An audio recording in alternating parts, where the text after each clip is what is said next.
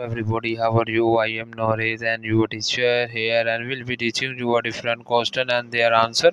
So I welcome you on classtheta.com where we'll be discussing question. So let's get on the question. So our today question is what is oligopoly? The correct answer of the question is a few companies control the majority of industry sales cell phones carriers. So that the answer of the question. If you are searching any other question please visit www.classtheta.com and find on the search section if you have any question to ask. There and our sessions on the right side of the website the from and will be answering. So you can thank you for watching this video.